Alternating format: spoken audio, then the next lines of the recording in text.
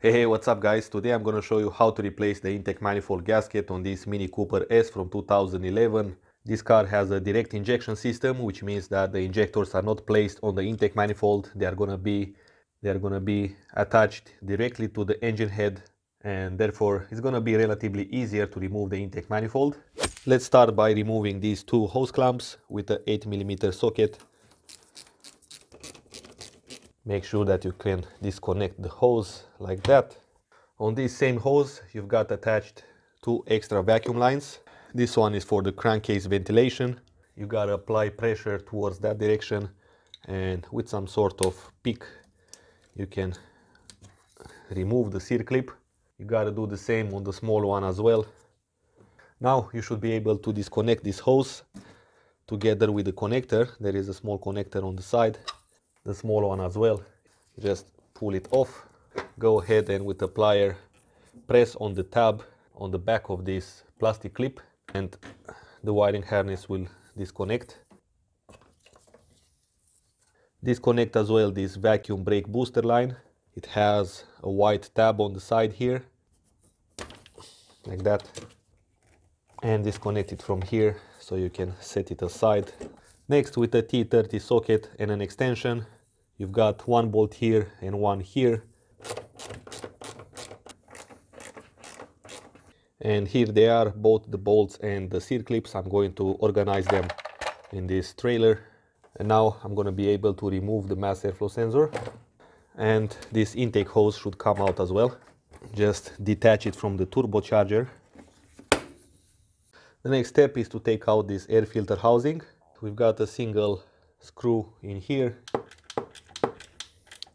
and now you're going to be able to pull on this air filter housing like that and remove it detach this cable from the side and here it comes. And from this point you can begin to see some components which you might be interested in like the electric power steering motor. I can see here the knock sensor with a 8mm socket, go ahead and remove the manifold absolute pressure sensor. Unplug the connector.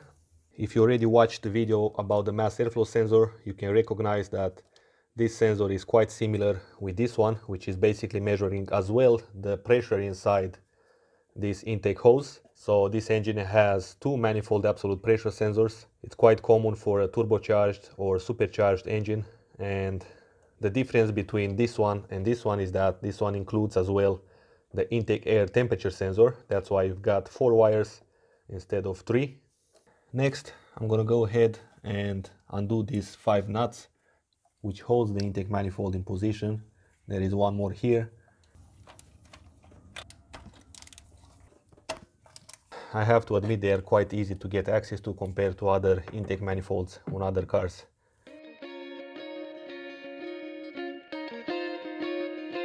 Once all the nuts are out, just gently pry out the intake like that because it might be stuck a little bit. From this point you can basically remove the gaskets. If this is your concern, you don't need to remove the whole intake manifold from here. It's still attached to the throttle body and some other components down there which I cannot see actually, but I will have to find out for the sake of this video. To unplug this connector, you gotta press on this tab outwards like that. While you press outwards, you take it out. And down here you've got a wiring harness, which you gotta pop it out like that. Alright, so if you have a look from this side, you're gonna find the evaporative solenoid, which connects on the intake manifold. The intake manifold have this metal bracket, you can see. This solenoid goes like that, and you gotta pull it out from there then remove this vacuum line from that hole. Also you've got this wiring harness which connects as well to the intake manifold on the bottom here. Right so right now if you have a look there is a 10 millimeter nut down there. You can see it in the mirror. Right in the middle there that one holds the intake manifold to the engine block. It connects somehow through this metal bracket and it goes through the engine block you can see so remove that and the intake manifold should be free all right so this is how i did it You've got the ratchet in there with a medium and small extension. And I've got the mirror positioned somehow that I can barely see the bolt. You can see the threads of the bolt down there and the piece of plastic which is a part of the intake manifold. You will need a mirror, otherwise you will not be able to do this job. And you need some sort of small extension, like very, very flexible, as flexible as possible. And then you're gonna be able to remove this magic bolt. Now this one is free to come out a little bit more. We've got this wiring harness from this side and then we've got this connector. Alright, so now the only thing that's left is the throttle body. Ah, okay, And finally, the intake manifold comes out. Alright, so with the intake manifold out, now I can present you the components down here. This is the evaporative solenoid this hose down here, which goes all the way to the blue line, goes to the evaporative canister. This is the turbocharger wastegate solenoid, which basically takes the vacuum from the intake and it releases when the computer wants. And then you've got also access to the starter. Just have a look down here and count how many connectors you have. So you're gonna know how many to reconnect. So we've got this white connector goes on the solenoid from the wastegate reconnect it from now so you're gonna know. This one is for the solenoid down here that all the connectors are on. This one I'm gonna keep them for later because I will have access even with the manifold on. So it's important to do this step because if you forget to plug in one of these connectors, you gotta do this job again. So that's uh, that's the worth to double check. I will just place the manifold on. Disconnect this evaporative solenoid so I can put it on the bracket here. The throttle body connector. Here it comes.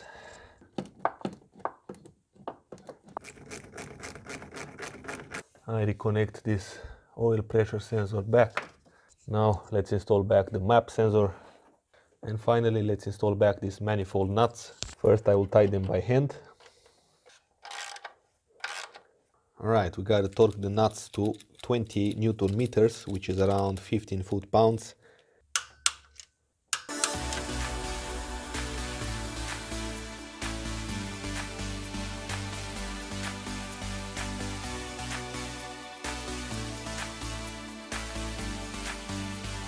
And that's it guys, that's how you remove the intake manifold and replace the gasket or get access to another part. Thanks for watching, if you wanna see more videos about this car there is gonna be a link in the description below with all the videos I made about this Mini Cooper S. And until next time, drive safe so I can see you soon.